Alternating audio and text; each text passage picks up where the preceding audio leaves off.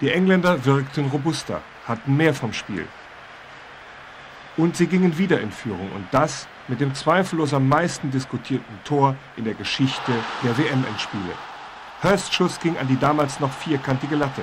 Schiedsrichter Dienst lief sofort zu seinem schnauzbärtigen Kollegen Bachamow. Der hatte das Tor aus dieser Sicht aber nur einmal und in Realgeschwindigkeit gesehen. Tatsächlich war der Ball genau von der Torlinie aus zurückgesprungen. Aber Tatsachenentscheid 3 zu 2 für England, 101 Minute gespielt.